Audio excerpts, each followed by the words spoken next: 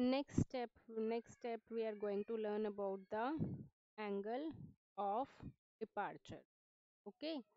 In this we need to calculate angle of departure. Why? Because we connect all poles and zeros to any one complex poles. Basically whenever we'll have complex poles then we need to calculate of departure. Okay so angle of departure is denoted by phi of d and its formula is 180 minus phi.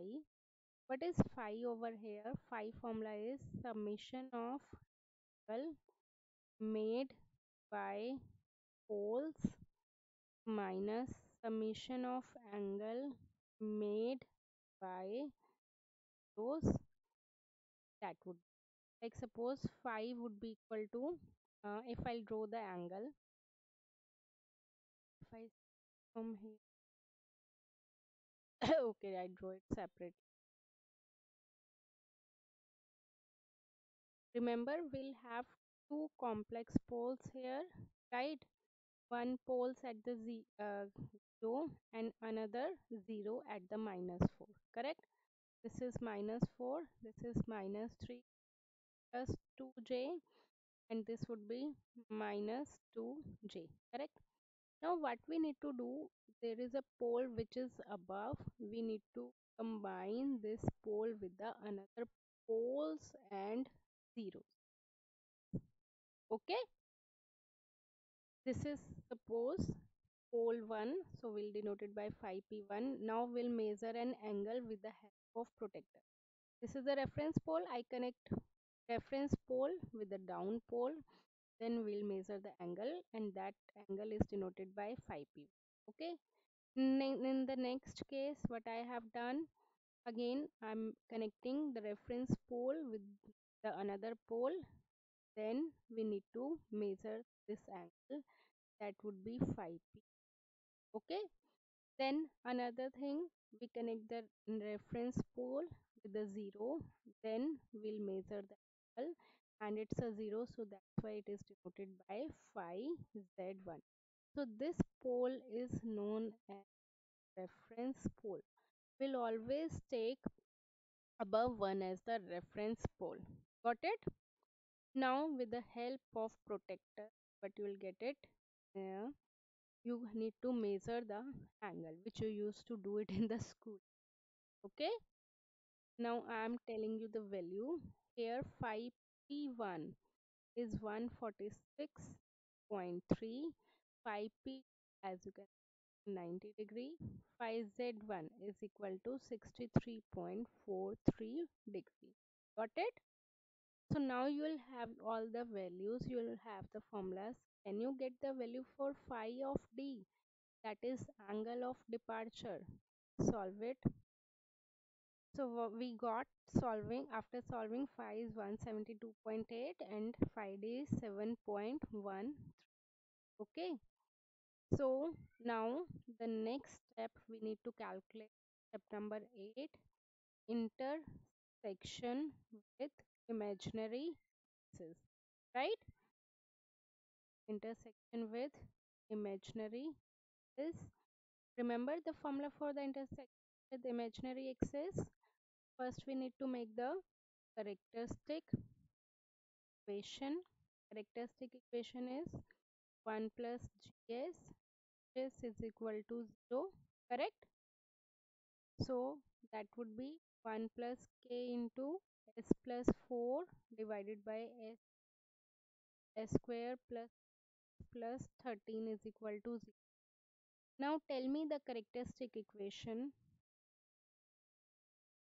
Correct. After solving the correct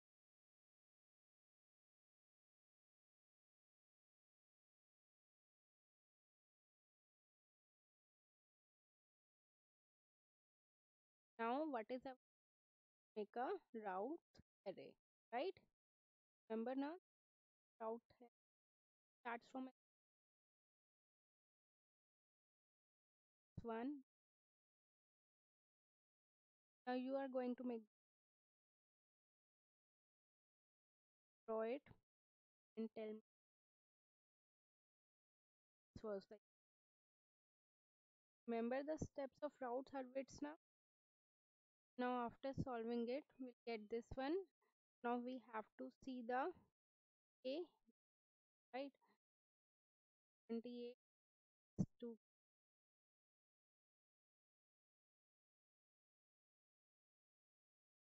if we'll solve it then 39. A would be marginal, right? A marginal is how much? Minus. Okay. A negative A means that there is no intersection. You can whereas K uh, because why? Whereas K is the gain of the right? So K should never be negative. If we'll get a negative means that there will be no intersection the imaginary understood? So now let's go the diagram complete. Up to here we have done centroid and then angle then we need to mark the breakaway point. How will we mark the break points? As you can see we are not getting the valid breakaway points right? Both the points we got it as not a valid. So now what we'll do with the angle of departure have poles over pole. How much will get angle of departure? Phi of 0.12 right? And they said that if a negative came that it would not intersect with the imaginary. So let's draw a line. Very small. So it will not intersect with the imaginary.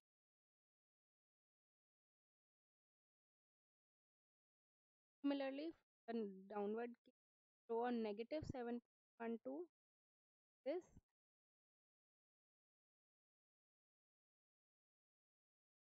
because if it suppose if it uh, intersect with the imaginary axis then we'll extend it then intersect imaginary but negative case here so it will not intersect.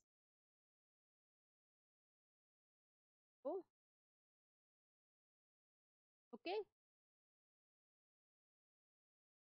So uh, this is this. Now they have give ask us one more find the value of k for a system having a density of zeta 0.7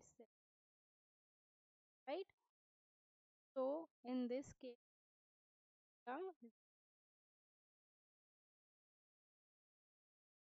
then we need to uh, some things in the graph. Now now draw a line oa at a cos inverse of 0.7 cos inverse much 45 degree right? So at this 45 degree have to draw a line. 45 to 90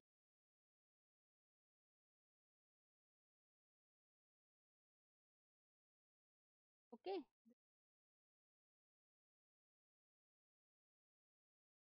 45 degree correct from this side from the opposite side.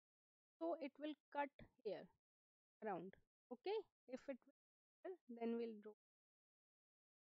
Then we'll consider this point. This point around minus point. Again we'll consider this point this point a point 2 means we are getting after solving it okay so if zeta is this one then we'll get 45 cos inverse. This one is 2 plus. So they have given gs 1 so into 4 square where s value is minus 2.2 plus so we need to put the value of s over here after solving. 4 okay understood? I'm repeating it. First they have given. We have to take cos inverse cos inverse 45 then we draw a then it will cut it here right? We'll cut it. We'll take the x point on the y axis. And x will get minus 2 point. This would be of s. We need to put it over here to uh, understood